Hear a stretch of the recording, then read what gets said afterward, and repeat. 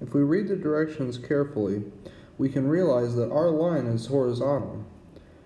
And that's a special case, because all horizontal lines have the general equation y equals b. Now, to finish out the equation for our line, we just need to use the fact that it goes through the origin, which is the point 0, 0. And if we plug that in, we can clearly see that our line has the equation y equals 0, and the graph is provided.